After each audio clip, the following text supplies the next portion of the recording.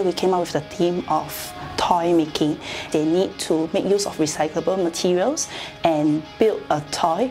And at the same time, we want them to be able to explain the science concept behind the toy that they have made.